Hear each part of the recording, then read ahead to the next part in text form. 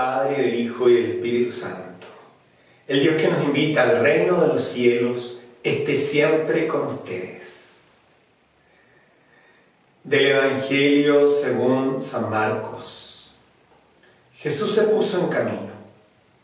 Un hombre corrió hacia él y arrodillándose le preguntó, Maestro bueno, ¿qué debo hacer para heredar la vida eterna? Jesús le dijo, ¿por qué me llamas bueno? Solo Dios es bueno. Tú conoces los mandamientos. No matarás, no cometerás adulterio, no robarás, no darás falso testimonio, no perjudicarás a nadie, honra a tu padre y a tu madre. El hombre le respondió, Maestro, todo eso lo he cumplido desde mi juventud. Jesús lo miró con amor y le dijo, solo te falta una cosa, ve, vende lo que tienes y dalo a los pobres, así tendrás un tesoro en el cielo Después ven y sígueme. Él, al oír estas palabras, se entristeció y se fue apenado porque poseía muchos bienes.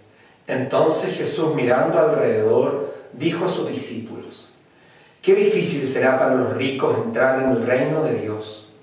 Los discípulos se sorprendieron por esas palabras, pero Jesús continuó diciendo, Hijos míos, qué difícil es entrar en el reino de Dios.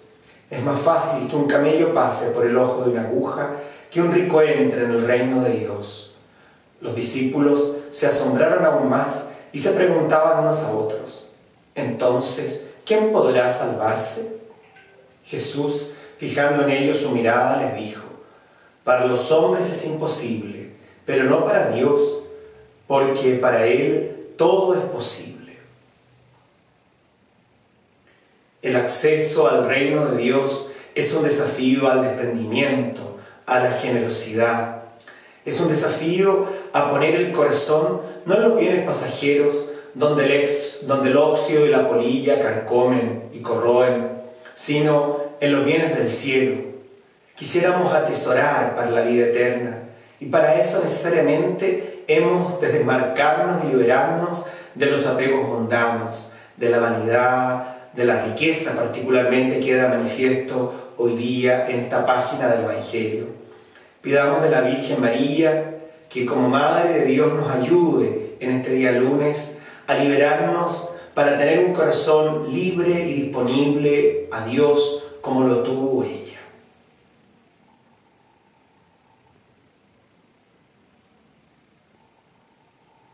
Creo, Jesús mío, que estás real y verdaderamente en el cielo y en el santísimo sacramento del altar.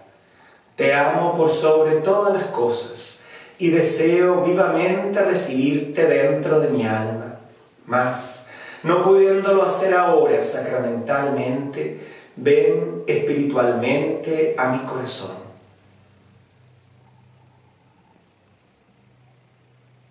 y como si ya te hubiese recibido, te abrazo y me uno del todo a ti.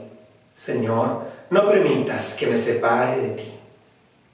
Que por la intercesión de la Virgen María les bendiga aquel que es Padre, Hijo y Espíritu Santo.